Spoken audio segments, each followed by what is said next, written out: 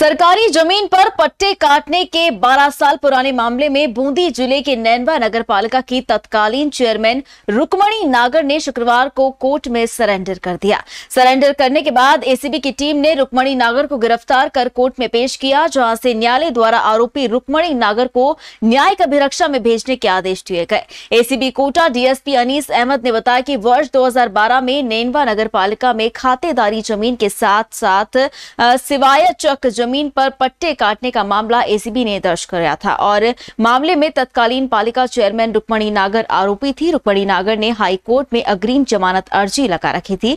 High court ने आरोपी को निचली कोर्ट में सरेंडर होने के निर्देश दिए थे, जिसके बाद रुक्मणी नागर ने आज कोर्ट में सरेंडर किया है। रुक्मणी नागर को जाँच के बाद कोर्ट में पेश किया गया। वही कोर्ट ने 18 जुलाई तक जेसी भेजने के आदेश दिए थे।